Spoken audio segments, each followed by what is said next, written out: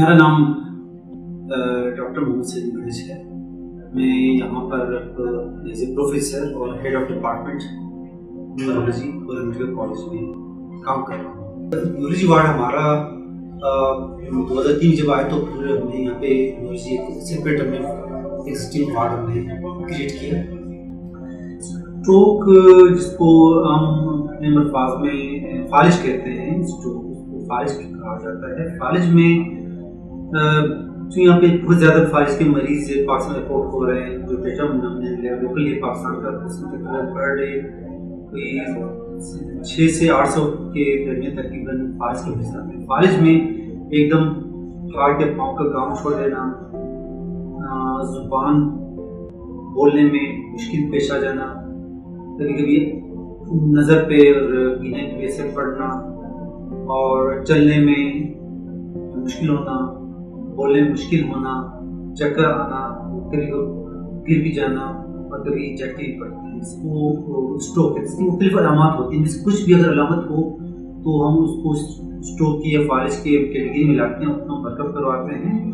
اس میں سب سے جو عام ورک اپ ہے، وہ سی اسکین ہے۔ اس سے پتہ چل جاتا ہے کہ کس قسم کا اسٹروک ہے۔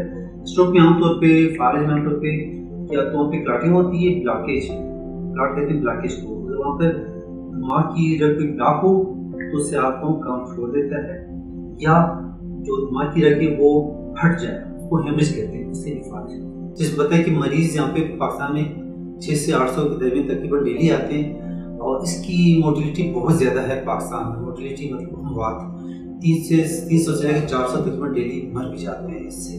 اس وجہ سے اس میں ہم بہت کام کر رہے ہیں، تاکہ لوگوں کو ہم اویئرنیس دیتے ہیں اور اس میں ہم اس کے علاج ماضی پر خوش ہو جاتے جو فالج کے اسٹروک کے ریسپیکٹرز uh, uh, عام طور پہ جو میں لوگوں کو جب ہم بتاتے ہیں سیمینار کرواتے ہیں پروگرام بتاتے ہیں تو ہم اور کو سمپلیفائی کرتے ہیں۔ جو جو جو ریسپیکٹر جو کہ ہارٹ اٹیک کے ہوتے ہیں، یہ بھی سیم وہی فالج کے۔ دوسرے الفاظ میں، جو فالج کو، یہ اسٹروک کو ہم برین اٹیک کہتے ہیں، وہ ہارٹ اٹیک کے برین اٹیک دونوں کے ریسپیکٹر تقریباً سیم ہی ہے اس میں سب سے اہم ہے وہ ہائپر ٹینشن بلڈ پریشر کا ہائی ہونا شوگر ڈائبٹیز ملیٹس اسموکنگ بھی بہت کامن ہے، وہ بھی ایک میجر فیکٹر ہے۔ اوبیسٹی پاکستان میں اگر دیکھتے ہیں تو موٹاپا بھی بہت زیادہ ہے، اس سے بہت بیماری بڑھ جاتی ہیں اوبیسٹی بھی ایک فیکٹر ہے۔ اور ایکسرسائز کا نہ ہونا لائف اسٹائل تو یہ میجر فیکٹرز ہیں، کوئی پانچ جس کی وجہ سے فالج سے بہت، اس کی بڑی تیزی سے بڑھے ہمارے ملک میں۔ اوور آل پورے ورلڈ میں پارکنسنس بھی کافی زیادہ ہے تعداد بڑھتی جا رہی ہے۔ کہ ہمارے ملک میں، پاکستان میں پارکنسنس جسے ہم ریشا کی بیماری کہتے ہیں، اس میں ہاتھ، پاؤں کا ہلنا پاٹ ہونا، ٹیمرز جسے ہم کہتے ہیں، وہ ہوتا ہے پارکنسن میں۔ اور عام طور پہ یہ بیماری پچاس، پچپن کے سال کے بعد سے اسٹارٹ ہو جاتی ہے۔ اور چونکہ ہمارے یہاں پہ اویئرنیس نہ ہونے کی وجہ سے لوگ پارکنسنس کو یا ریشا کی بیماری کو کہتے چلیں بڑھاپے کی ایک وہ علامت ہے۔ ہاتھ، پاؤں کب پا رہے ہیں ہل رہے ہیں، تو اس پہ علاج کی توجہ نہیں دیتے۔ حالانکہ وہ ایک الگ چیز ہے۔ وہ جو سینائل جو کہ بڑھاپے سے کامتے ہیں ہاتھ وہ الگ ہے یہ جو بیماری ہے، پارکنسن الگ ہے۔ اس کو آپ علاج نہیں کراتے تو مریض کافی پہلے ہی وہ بیڈ باؤنڈ ہو جاتا ہے، اس سے بیڈ پڑ جاتا ہے۔ اگر آپ علاج کراتے ہیں، اس کی ٹریٹمنٹ کرتے ہیں، تو آپ اس کو کم از کم آٹھ سے دس سال تک مزید آگے لے جا سکتے ہیں۔ جو جس میں نے کہا نا کہ پارکنسن میں تو ٹیمرس جو ہاتھ پاؤں کا کام تھا وہ پارکنسن میں ہوتا ہے، اس کے علاوہ جو پارکنسن باقی جو ہوتی ہیں، اکڑاؤ آ جاتے ہیں جسم میں ہاتھوں میں، پاؤں میں اکڑاؤ، چلنے میں دشواری اور بالکل مریض پچاس پچپن سال کے بھی بالکل جھک کر آس سے آستے چلنے لگتا ہے۔ بولنے بالکل سلو بول رہا ہوتا ہے۔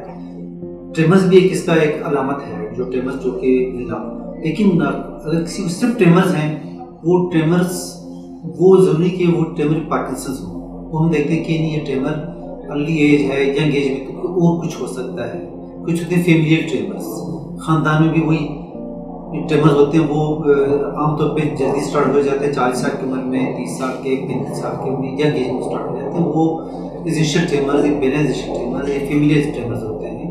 یا کچھ ہوتے ہیں ٹریمرز جو کہ میٹابولک بیماری جیسے کہ تھائرائڈ ہے تھائٹوسکوسس ہے تھائرائڈ کا زیادہ ہونا، اس سے بھی وہ ٹریمرز ہو جاتے ہیں.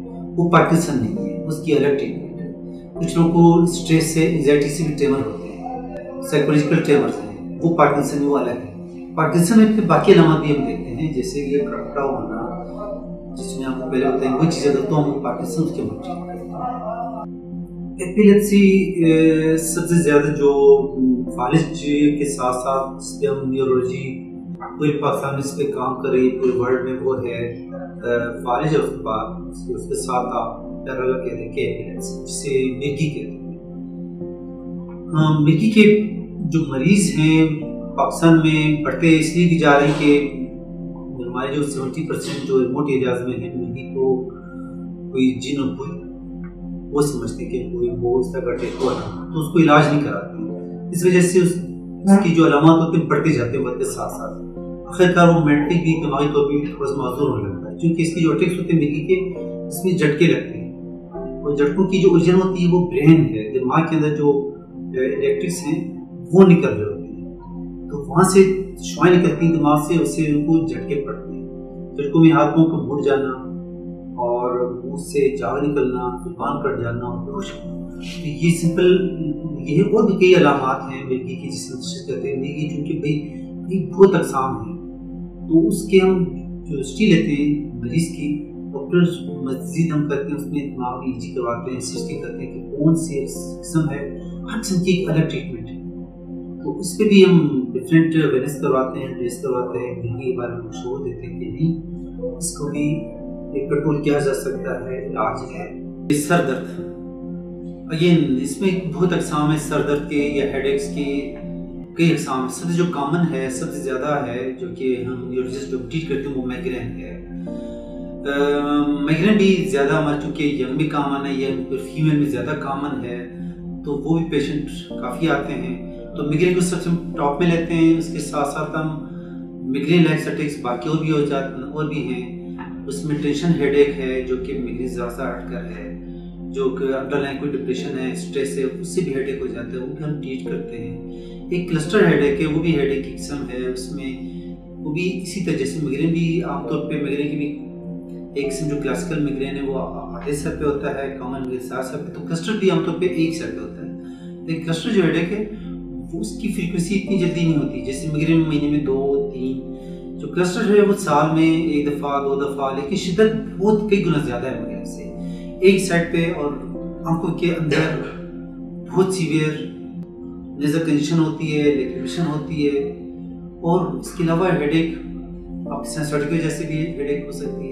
ہیڈ ایک اگر سر میں اگر برین کے اندر کوئی ٹیومر ہو ایپسس ہو اس سے ہیڈ ہو سکتی ہے۔ ہیڈ ایک اگر سر میں کوئی انفیکشن ہو گرد اور بخار ہو، جس میں جیٹس اس سے بھی ہیڈ ہو سکتی ہے۔ تو ہیڈ ایک ہم دوبارہ ہم دیکھتے ہیں کہ کیا وجہ ہے، ہر ایک الگ ٹریٹمنٹ ہاں یہ جو بیک ایک ہے، اس طرح کی مریض، لو بیک ایک یا جو گردن کے پیچھے نیپ بدن کہ یہاں پر پین بتاتے ہیں، یہ بھی کامن آتے ہیں، کبھی یہ پیشنٹ بھی کبھی نیورو کے پاس آتے ہیں، کبھی نیو سرجن کے پاس آتے ہیں، کبھی آرتھوپیڈک سرجن کے پاس جاتے ہیں۔